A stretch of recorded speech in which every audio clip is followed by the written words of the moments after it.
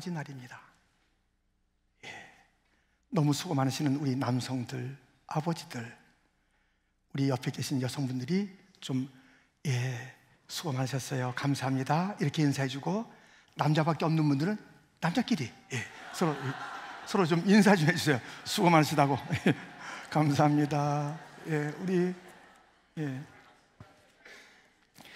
어, 아버지 하면 무슨 그 생각이 먼저 떠오르십니까? 아버지. 예. 각자 다를 거예요. 그러나 다 그리울걸요? 아버지가 그리울 거예요. 그리운 아버지. 뭐, 자랄 때 우리한테 막 엄했어도 사랑으로 그런 거 아니겠어요? 지금 생존에 계시든 먼저 떠나셨든 먹먹한 그림이 우리 아버지 생각할. 저도 아버지가 참 그 복음으로 살아내셨고 어떻게 완전하시겠어요? 아니잖아요. 그런데 복음이 어떤 능력이 있는지 저에게 복음을 가르쳐 주셨고 복음을 전파하셨고 복음이 어떤 삶을 살아내게 하는지를 그 삶 가운데 보이셨던 아버지가 너무 보고 싶습니다. 길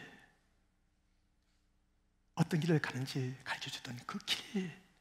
오늘은 본문에서 길에 대한 이야기를 하는 것이에요. 길이란 단 외자잖아요. 근데 이것처럼 힘이 있는 단어가 있을까요? 길. 이 길 속에 우리의 이 땅에서의 삶 아주 달라지고요. 영혼까지 달라져요. 길한 것이 얼마나 중요한데요.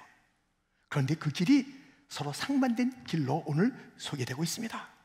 함께 살펴보면서 가서는 안 되는 길, 꼭 가야 할 길, 함께 찾아보겠습니다.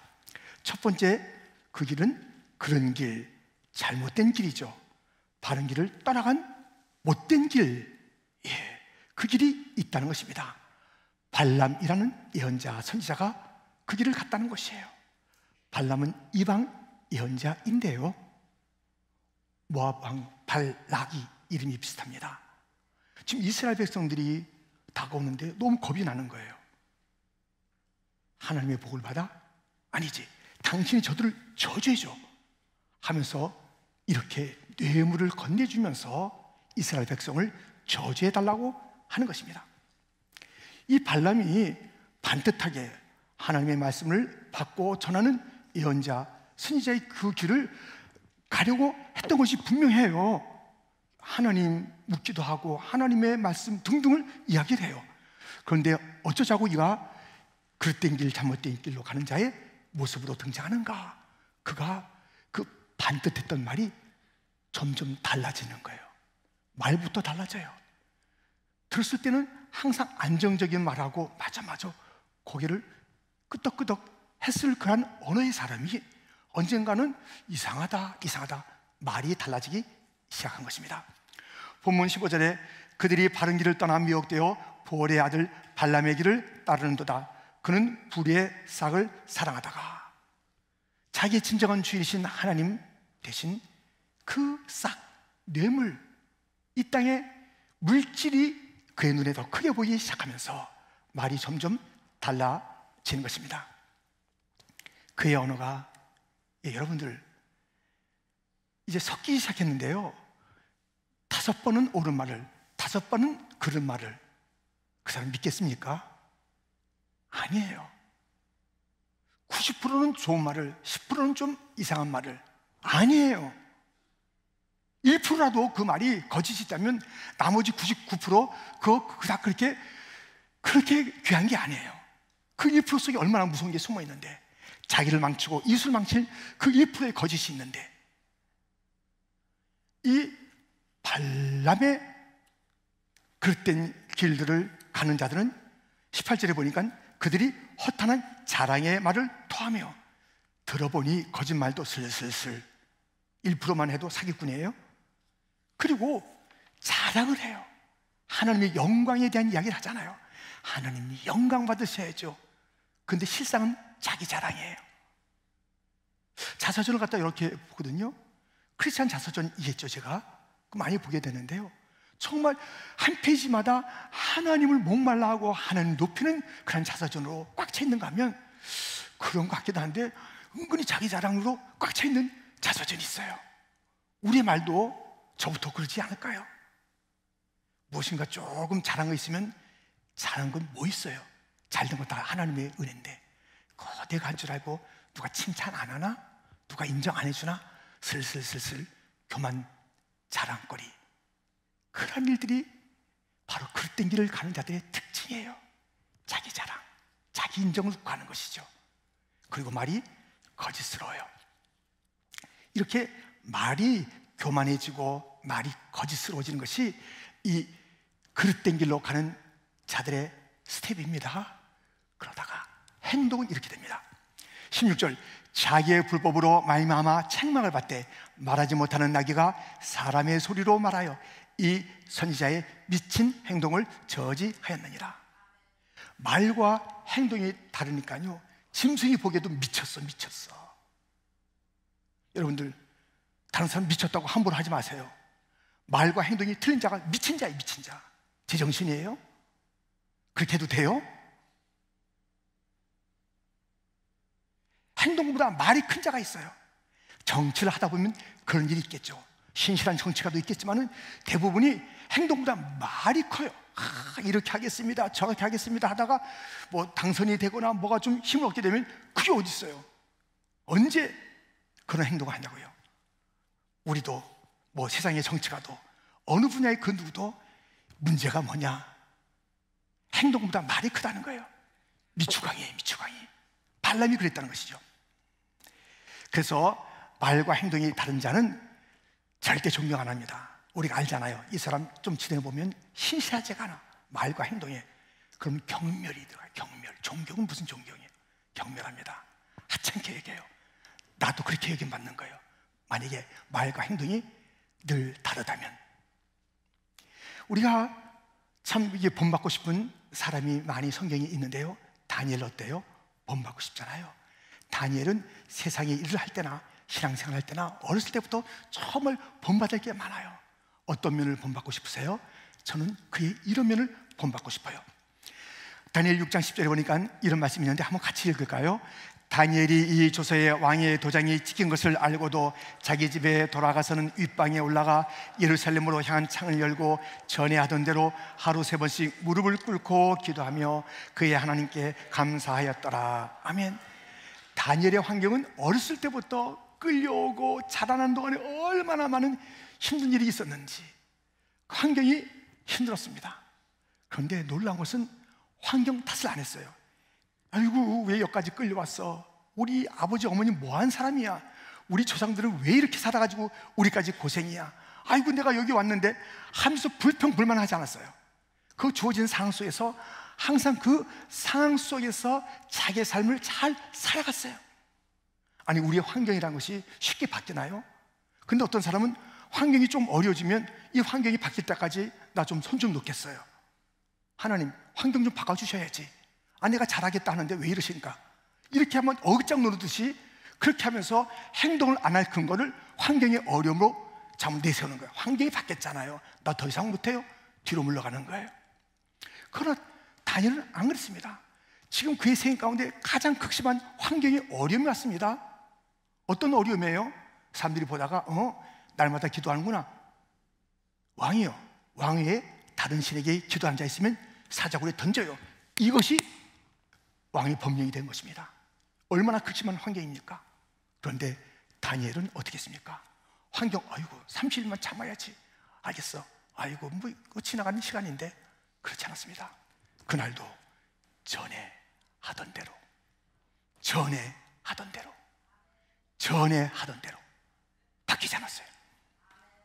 여러분들, 환경 탓하지 마세요. 그 환경이라는 것은 우리가 잘 정해서 살라고 주어진 환경일 수 있고요. 아니면 우리를 너무너무 사랑해서 하나님의 계획과 특별한 은총 가운데 어려움이다라고 변장된 그러한 환경이 우리에게 다가왔는데 행동을 이상하게 해요? 위축돼요?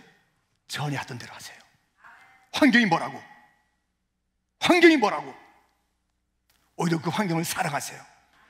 눈으로 볼 때는 사람들이 야, 너 왜 그렇게 됐나? 어이구, 나는 이거 왜이지? 아니에요. 사랑하세요.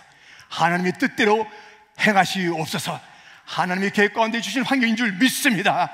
다니엘은 전에 하던 대로 행동이 바뀌지 않았어요. 이렇게 발람은 환경에 따라서 상황에 따라서 물질 따라서 그의 모든 행동이 변하곤 했던 것입니다. 지금 이제 배교라는 단어를 우리가 이제 써야 될 텐데요. 어떻게 되는 것입니까? 믿음 생활 하다가 말이 좀 이상하다가 행동도 그러다가 아예 하나님 등지고 믿음 등지고 공동체 등지고 나가는 자 배교자로 합니다. 이 비교란 단어는 어느 종교나 있어요. 자기 종교에 있다가 떠나간 자를 비교자라 그러잖아요. 그런데 그 믿음 생활 잘하다가 떠난 자를 비교자라 그러는데 기독교는 그게 비교자가 아니에요.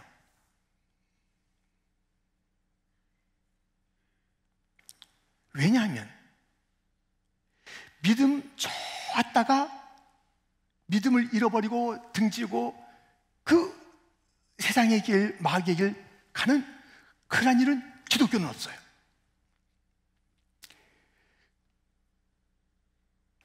배교의 길을 간다. 그런 자들은 애시당초 같은 편이 아니에요. 기독교가 아니에요. 요한에서 2장 19절 말씀 그들이 우리에게서 나갔으나 우리에게 속하지 아니하였나니 만일 우리에게 속하였다면 우리와 함께 가였으려니와 그들이 나간 것은 다 우리에게 속하지 아니함을 나타내려 함이니라 애시당초 우리 편이 아니에요 누가 자꾸만 이 교회 밖으로 나가잖아요. 근데 나간데 점점 멀어져요. 마지막까지 우리는 몰라요. 우리 하나님 손에 달려있지. 마지막이라도 돌아올 수 있어요. 찰스 다인 진화론자. 그는요 마지막에 회개했어요. 내가 이렇게 말하던 이 진화론이 이렇게 영향을 끼칠 줄 몰랐는데 특별히 과학적인 근거를 그렇게 따져서 한 것도 아닌데 그 가상의 일을 갖다 얘기했는데 이렇게 받아들이고 세상이 변화되고 있다니 내가 이런 일을 했다니 주여 용서하여 주옵소서 마지막에 돌아왔어요 마지막에 돌아올 수 있는 그 일들은 하나님 그 손길 아래 있는 것이지만 배교회를 간다 끝까지 간다 아무리 죽을 때 가만히 보니까는 끝까지 주님을 원망하고 죽더라 배교자가 맞더라 원래 그는 크리스찬이 아닙니다 같이 있던 자가 아니라 같이 있는 것처럼 보였던 달을 쓴 자였습니다. 오늘 말씀을 보시죠. 22절 참된 속담에 이르기를 개가 그 토하였던 것에 돌아가고 돼지가 씻었다가 더러운 구덩이에 도로 누웠다 하는 말이 그들에게 응하였도다. 도로 가는 거예요. 돼지는 돼지의 길을 다시 가는 거고 개는 개의 길을 가는 거예요. 개가 양의 그 탈을 좀 쓰고 있었겠죠. 돼지가 좀 뭐 이쁘게 보였겠죠. 아이고 아닙니다. 때가 되니까 드러나는 거예요. 기독교는 배교가 없습니다. 믿음이 좋았는데 믿음을 잃어버리는 일은 없습니다. 왜냐하면 하나님의 택하신 가운데는 성도의 견인, 끝까지 지켜주시는 하나님의 손길이 함께하기 때문에 아멘. 넘어지는 일은 이때니까요. 그러나 아주 실패하지는 않습니다. 주님께서 택한 자는 보세요. 아무리 어긋장치고 나가다가도 돌아와요. 누가 뭘하지 않아도 돌아와요. 마음속에 누군가에게 보이기 싫어서 전부의 의지 없어서 손 들고 옵니다라고 엉엉 울면서 앉아 있을지언정 그는 결국 이 자리가 자기 자리인 줄 아는 거예요. 이 배교의 길은 어디로 끝나는가? 17절 말씀 그들을 위하여 캄캄한 어둠이 예비되어 있나니 그렇습니다. 여러분들 이 길이 지옥의 길, 지옥의 길. 그릇된 길은 그럴듯하게 보였으나 그 말부터 달라지고 오른말을 그른말을 섞어서 하다가 행동이 말과 정, 외식 다른 이야기 곧 미치광이 이야기를 행동으로 보이다가 배교의 길 등지고 가다가 지옥 가는 게 지옥 이런 길을 가겠습니까? 이 길을 가겠습니까? 진리의 말이 거짓의 말고 행동이 말과 달라지고 점점점 교회와 공동체와 하나님과 말씀이 멀어지다가 죽을 준비 하나도 안 하고 죽에 떨어졌어야 되겠습니까? 이런 길이 있는가 하면 또 다른 길, 바른 길을 떠나 바른 길 두 번째 바른 길이 있다는 거죠. 바른 길. 여러분, 이 바른 길의 출발점은 어딜까요? 딱 하나밖에 없어요. 내가 곧 길이요. 예수님밖에 없어요. 예수님. 바른 길의 출발점은 예수님밖에 없어요. 내가 곧 길이요. 이렇게 말하는 분이 세상에 어디 있어요? 내가 길이다. 너희가 걸어야 될 새로운 길이다. 말씀하시면서 찾아오신 길 예수님. 그 길의 출발점은 바른 길의 출발점은 예수님이라고요. 오늘 본문 20절에 보니까 만일 그들이 우리 주 대신 예수 그리스도를 알므로 세상의 더러움을 피한 후에 우리 주 예수 그리스도를 아는 것, 그 길을 간다는 것은 예수 그리스도를 아는 것이에요.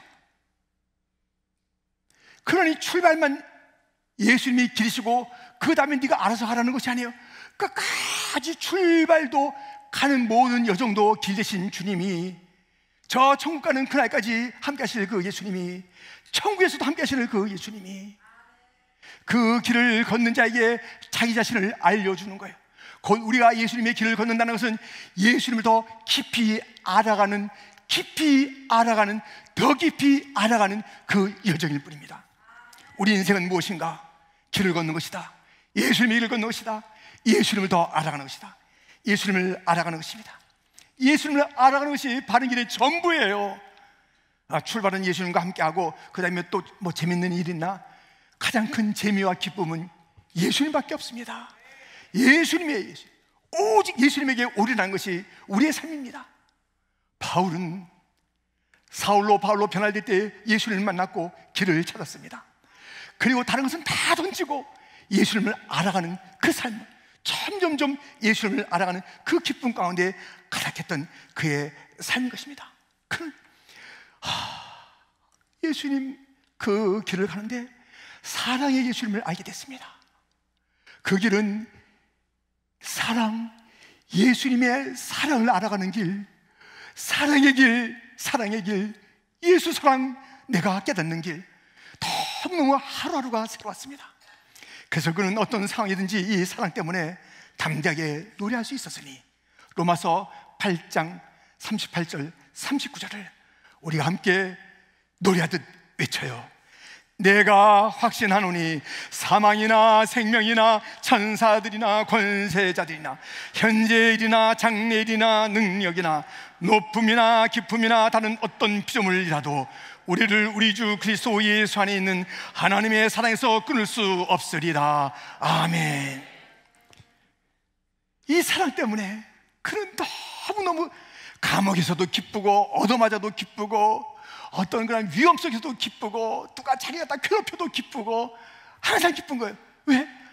분명히 있으니까 이 강도 때도 지나갈 거야. 이 돌도 다 뭐 떨어지고 말겠지. 채찍 어더라고. 그러나 내게 않는 게 하나 있어. 주님의 사랑은 내게 변치 않아. 이것 때문에 그는 기쁨의 근원을 거기서 찾았어요. 기쁨의 근원 대신은 그 기쁨의 근원은 예수님 사랑이었다니까요. 예수님 사랑을 알고 가니까 얼마나 그 길이 그날 또 이라면 예수의 사랑을 더 알아가는 오늘도 예수의 사랑을 더 알게 하여 주옵소서. 제가 예수의 길을 갑니다. 예수의 사랑을 알게 하여 주시옵소서. 우리도 마찬가지 아닙니까? 우리도 가는데 너무너무 놀라는 것이 예수님의 사랑이에요. 아니 우리 같은 자를 갖다 사랑하다니. 아니 특별히 저 같은 자를 사랑하다니. 이렇게 못난 자, 실패 덩어리, 맨날 징징거리는 자, 뭐 하나 내놓을 게 하나도 없는 자, 이런 자가 다 저는 어떨 때 막 여쭤봐요. 주님 창피하지 않으세요? 창피하지 않으세요? 나 같은 자를 주님의 교회 목사로 두는 걸 창피하지 않으세요? 창피할 텐데, 창피할 텐데요. 부끄러울 텐데요. 하, 이 삶이 이렇게 이 이 문난이가 이렇게 묶어내요. 그때마다 주님께서 말씀하세요. 내가 너를 지명하여 불렀나니 너는 내 것이라. 너는 내 것이라. 나는 내 하나님 것이 자랑스럽다는 아 이게 무슨 말씀이냐고요. 내가 너를 보배롭고 존귀하게 여긴다. 성구가 힘을 내라. 아, 너무 너무너무 내가 부끄러운데 저는 좀 누가 추한 사람이 옆에 있으면 부끄러울 것 같아요. 같이 안 갈 것 같아요. 이 손을 잡고 이 사람이 킨주 장로의 목사요. 이 사람을 위해서 내 아를 주었어. 이렇게 나를 사랑해 주시고 용서해 주신 주님 알아가는 그 기쁨이 너무 너무 좋습니다. 너무 감사합니다. 여러분 예수의 길 바른 길에는 예수 그리스도의 사랑을 알아가는 길이요 그 일로 인하여 우리의 기쁨이 충만한 그게 되는 줄 믿습니다. 예수의 길만이 바로 승리의 길입니다. 오늘 본문 19절에 보니까 누든지 진 자는 이긴 자의 종이 됩니다. 우리가 무슨 운동 시합을 한다. 예, 비길 수도 있고 이길 수 있고 질 수도 있습니다. 뭐 챔피언이 그 다음에 또 꼴찌가 되기도 하고 등등의 일들이 있는 것입니다. 여러분들 이 땅의 전쟁도 마찬가지죠. 뭐 이기기도 하고 지기도 하고 휴전도 하기도 합니다. 영적인 전쟁은 그렇지 않습니다. 반드시 이겨야 돼. 지면 이긴 자의 종이 되는 거예요. 죄의 짐은요, 죄의 종이 되는 거예요. 필요한 자가 되는 거예요. 비겁한 자가 되는 거예요. 추한 자가 되는 거예요. 죄의 멍에 끌려서 가는 자가 되는 거예요. 지면 안 됩니다. 영적인 전쟁에서 지면 안 되는 것입니다. 그러나 우리가 이 영적인 전쟁, 그렇게 온갖 것들을 가지고 우리를 무기를 가지고 와서 유혹도 하기도 하고 위협하기도 하고 꼬이기도 하는 다양한 지혜를 가지고 우리를 갖다가 이기려고 달려드는 그런 마귀의 세를 우리는 이길 수가 없습니다. 우리는 지고 말 것입니다. 그래서 이인 자의 종이 될 것입니다. 그러나 그러나 염려하지 마세요. 우리 주님께서 이렇게 말씀하셨으니 요한복음 16장 33절 세상에서는 너희가 환란을 당하나 담대하라 내가 세상을 이겼노라 예수님의 길만이 승리의 길인 줄 믿습니다 예수님의 길 가지 않으면 승리할 수가 없습니다.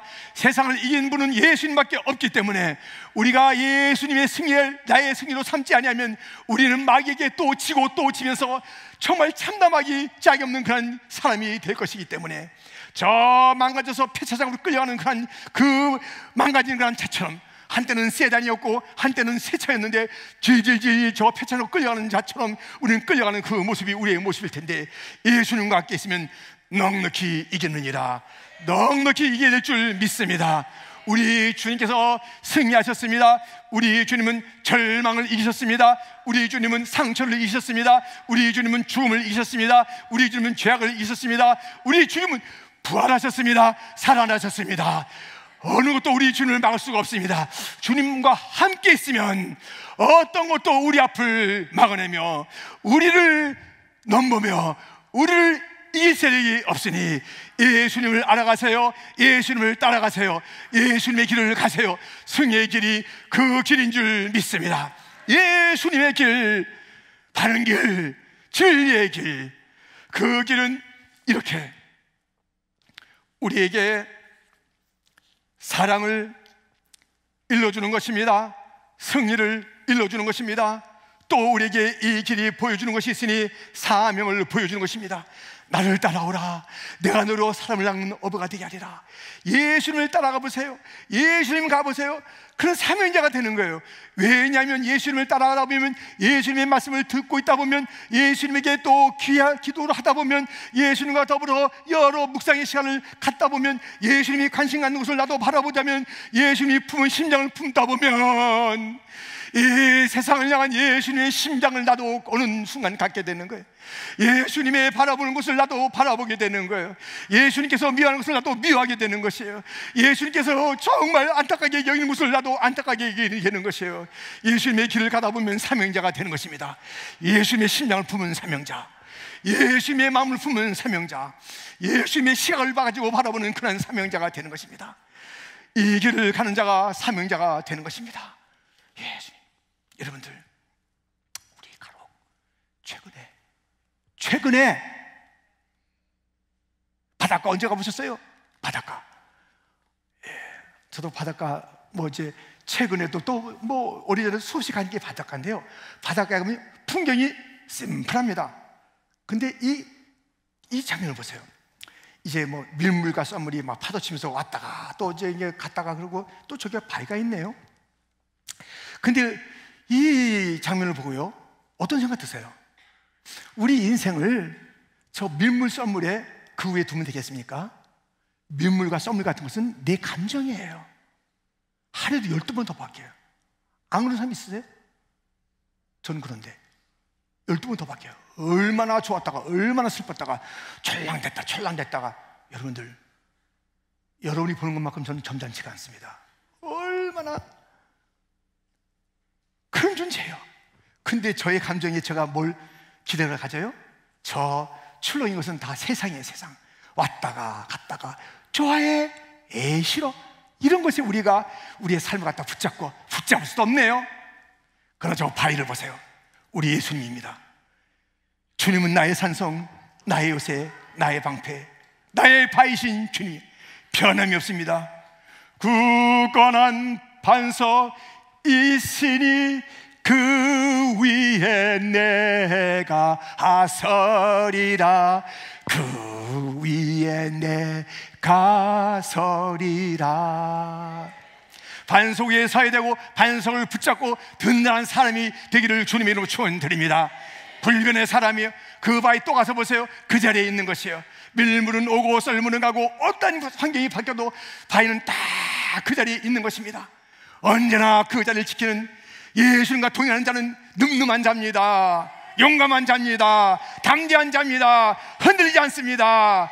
정말 멋진 사람입니다. 그러나 예수님을 떠난 자는 저 철랑이는 그런 자가 되는 거예요.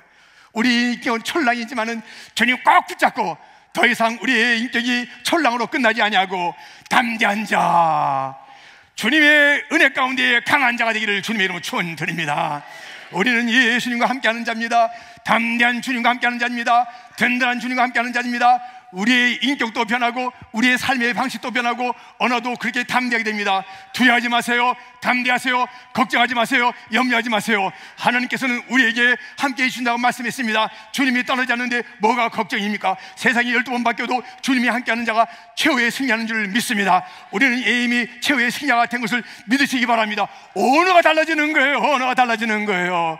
여러분들이요 주의 길을 가는 자는 언어가 다른 언어인 줄 믿습니다. 사랑에 너무나도 겨워서 그 사랑 때문에 날마다 기쁨으로 가득한 삶을 살게 될 줄 믿습니다.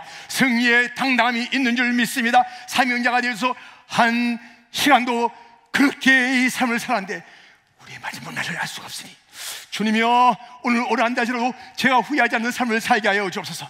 오늘이 마지막의 날인 것처럼 최선을 다하는 삶을 살게 하여 주시옵소서. 주여 준비된 삶을 살게 하여 주옵소서. 주님 만날 준비를 하게 하여 주시옵소서. 네 하나님 만날 준비를 하라. 주여 주를 만날 준비가 된 자가 되게 하여 주옵소서. 기름 준비 다 해놓은 처녀가 되게 하여 주옵소서. 지혜로운 자가 되게 하여 주시옵소서. 아버지 하나님이여 아버지 하나님이여 사명을 가지고 살게 하여 주옵소서. 주님을 알지 못해서 죽어가는 이 어둠의 세력들에게 주의 복음의 빛을 증가하는 자가 되게 하여 주시옵소서. 제 심장은 날마다 끌어오기를 원하나이다. 예수님의 심장이 되기를 원하나이다. 주님의 마음이 되기를 원하나이다. 주여 제 심장이 주 앞에 들어지기를 원하나이다. 제이 차가웠던 것은 이제 거두어 가 주십시고 주의 뜨거운 심장으로 저를 이식시켜 주시옵소서. 뜨거운 삶을 살게 하여 주옵소서. 용왕노와 같은 삶을 살게 하여 주옵소서. 흔들리지 않는 삶을 살게 하여 주시옵소서. 어떤 길을 가겠습니까?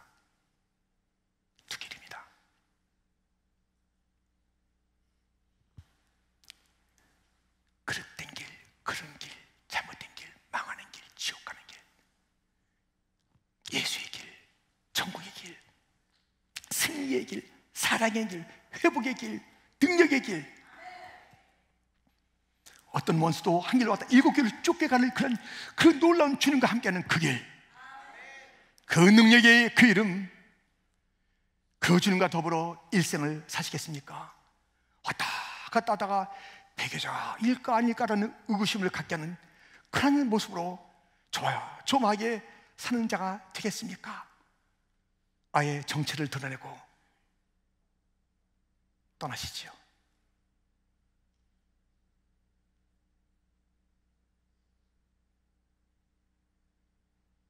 자기도 모를 거예요. 자기도 모를 거야. 내가 원래 개였다는 것을, 변화되지 않는 개로 계속 있다는 것을 자기도 모를 거예요. 알 수 있으니 더러운 것을 허겁지겁 먹는 거예요. 더러운 데서 뒹굴 굴고 저리 뒹굴 굴고 이상한 친구 만나도 그게 하나도 이상하지 않아요. 더러운 거 봐도 하나 찔림이 없어. 사기를 쳐도 뻔뻔해. 자기가 놀던 그물에 다시 갔는데도 아무 이상이 없어요. 조심하세요. 조심하세요. 여러분들이요, 여기 계신 모든 분들, 저도 누구도 예 없이 이제 다 바른 길을 가는 자가 되기를 주님의 이름으로 축원드립니다. 이 길에서 이탈하지 맙시다. 거꾸로 가지 맙시다. 주저앉지 맙시다. 그날까지 함께 또 함께 가는 믿음의 동역자가 승리의 동역자가 사랑의 동역자가 다 되시기를 주님의 이름으로 축원드립니다.